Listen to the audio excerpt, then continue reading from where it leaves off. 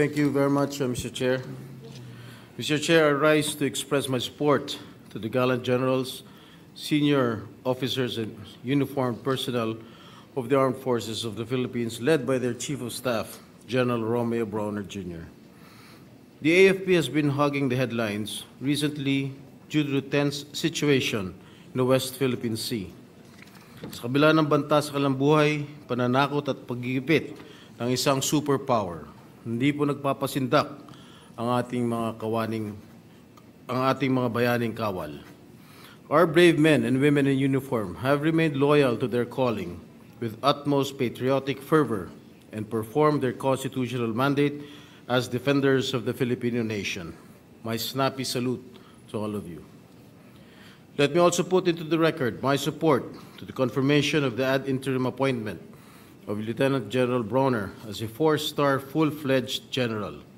When I had an official visit in Fort Bonifacio, Philippine Army last April as chairperson of the Senate Committee on National Defense and Security, I mentioned that General Bronner had the makings of the next AFP Chief of Staff because of the way he talks, he presents and conducts himself, and the manner he effectively leads the biggest component of the armed forces of the Philippines.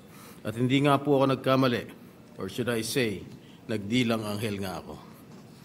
Congratulations, and we look forward to strong leadership in the AFP amidst all the issues surrounding the defense establishment, from the continuing maritime disputes and foreign incursions in the West Philippine Sea, the urgency of implementing the modernization of military assets and building a credi- credible defense posture, up to the simmering discontent within the ranks arising from the proposed reforms in the MUP pension.